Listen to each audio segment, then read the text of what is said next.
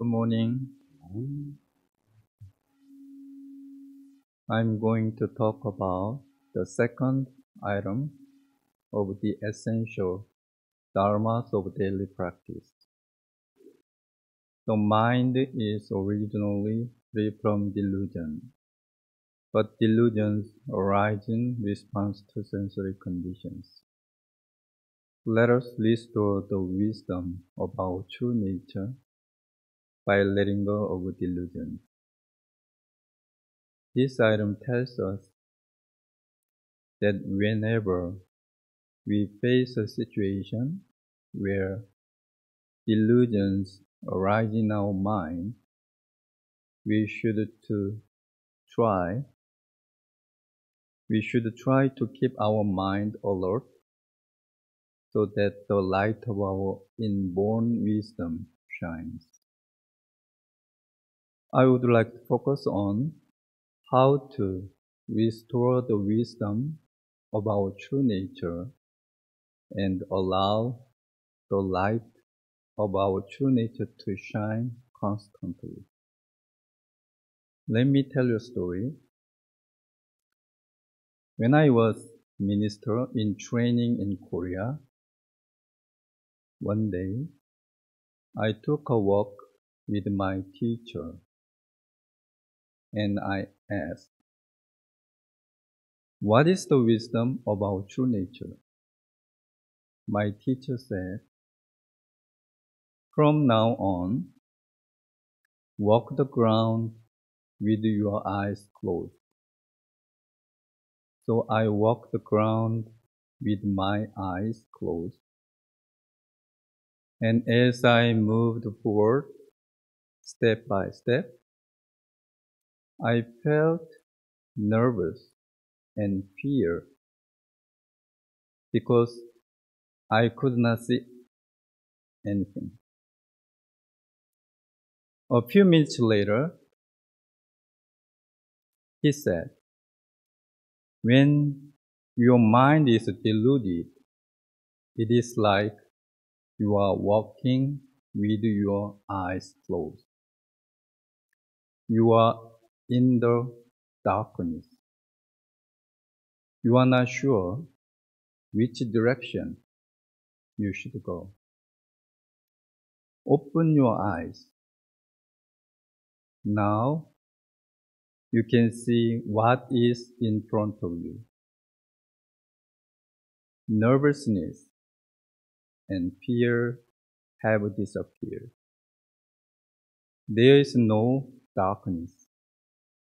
The wisdom of your true nature is like this.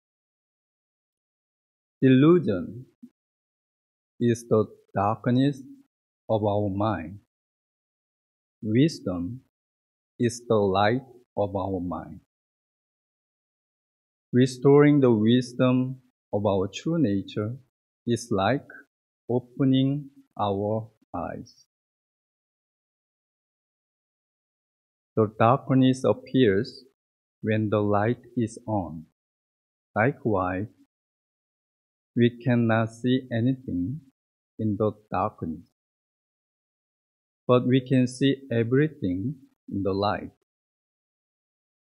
The wisdom of our true nature is a light that illuminates the darkness of our mind.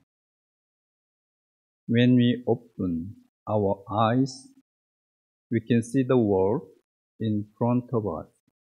Likewise, when we open the eyes of our mind and restore wisdom of our true nature, we can see the way of life. We can then live our life without suffering and distress. We live with our body and mind.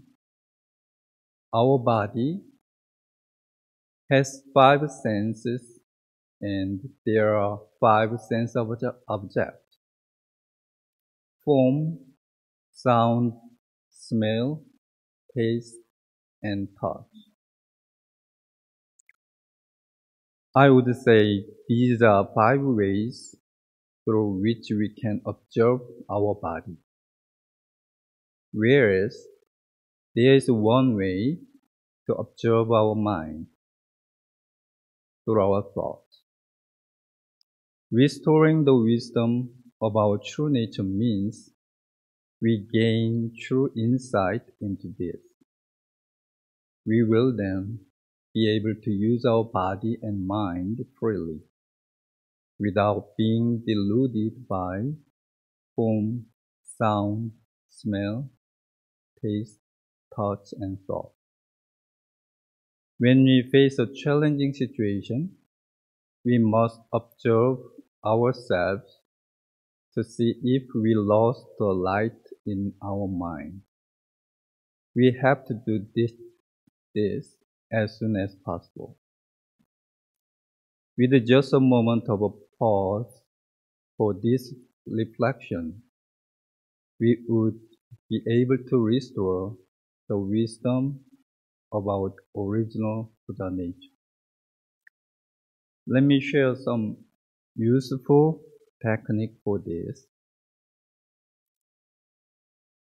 Let your breath become relaxed and naturally at ease. Bring your awareness to your breath. Breathing in, you are aware that you are breathing in.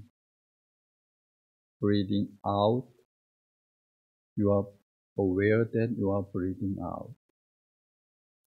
And you are aware that your breathing is taking place in a space.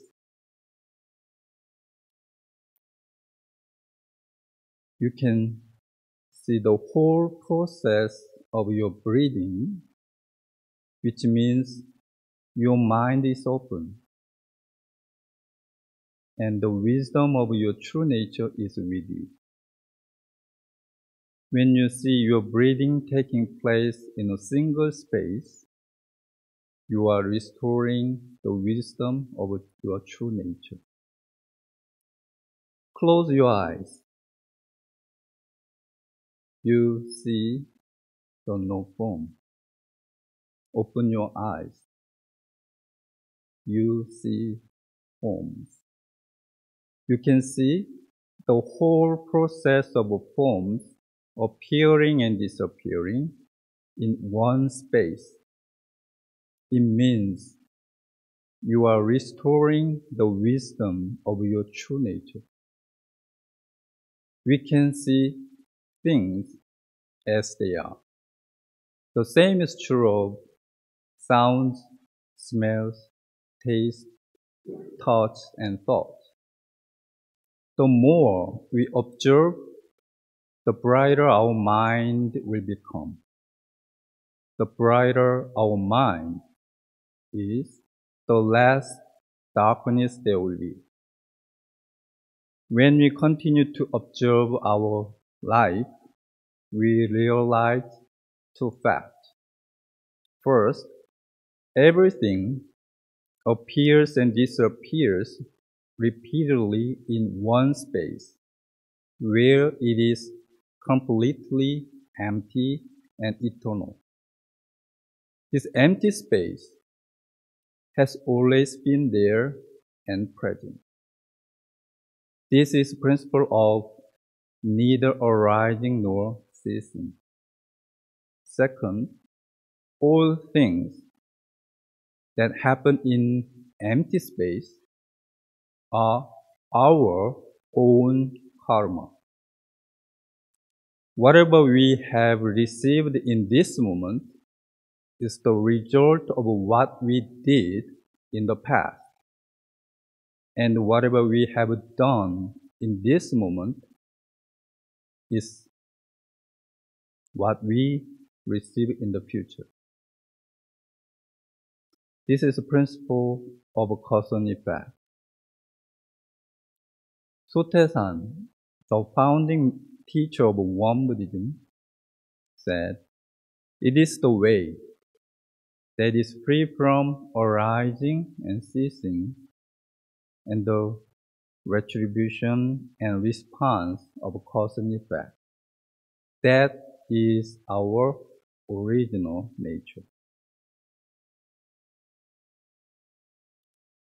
Through the light of the void and calm, luminous awareness, we can view both realms. There's a realm where there's no discrimination, and the realm where there's discrimination regarding great and small, being and non-being, and the distinction between wholesome and unwholesome karmic attribution.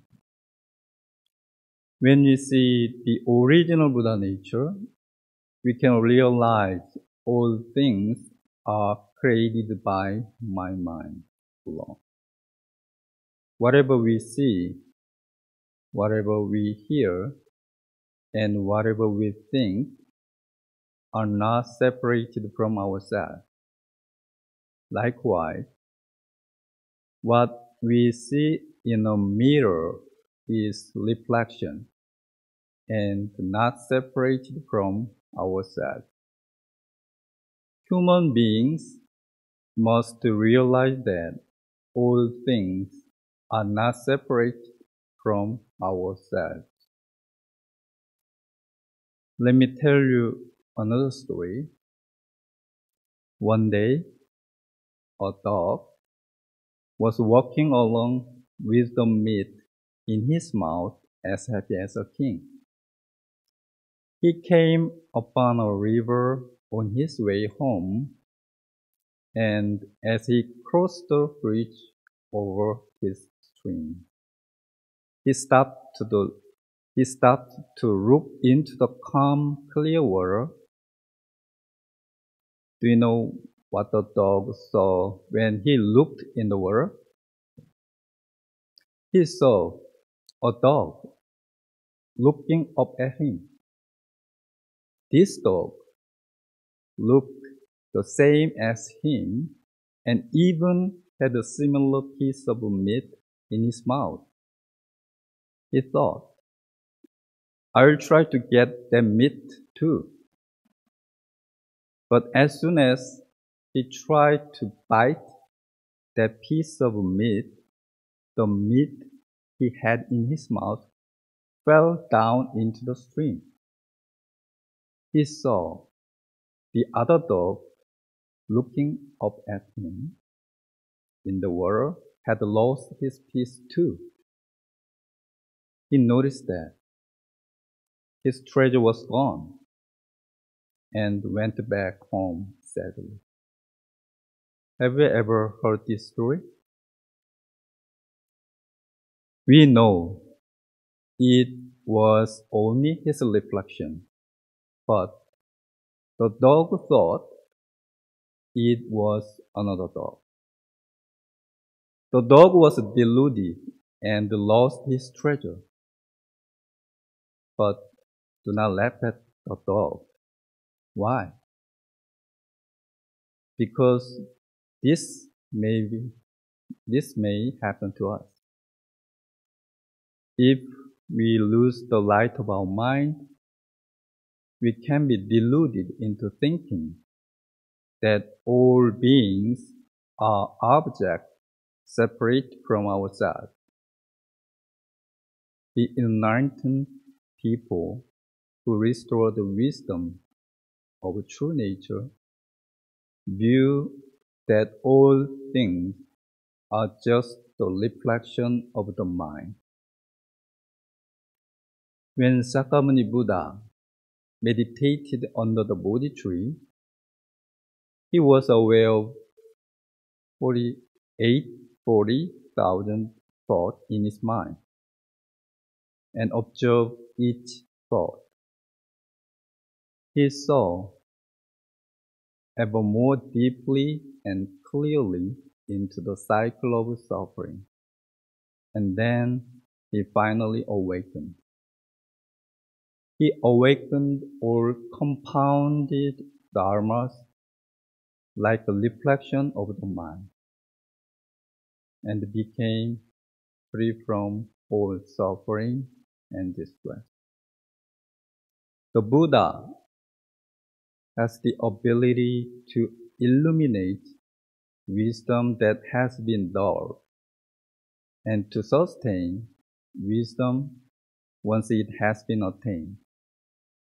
This is why we have to restore the wisdom of our true nature and allow the light of our mind to shine constantly.